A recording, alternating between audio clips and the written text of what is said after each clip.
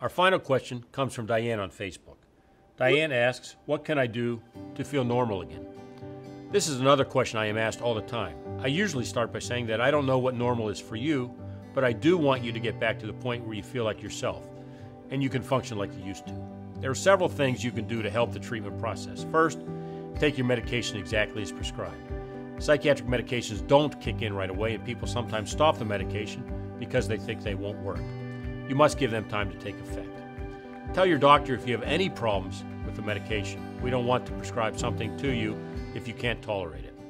It is also important to follow up with specific recommendations, including referrals to therapists. Finally, do the obvious maintain a regular sleep cycle, eat healthy, get exercise, drink only in moderation, and don't use any recreational or illicit substances. Although your treatment providers can help you navigate the stormy waters associated with psychiatric illnesses, you are steering the ship.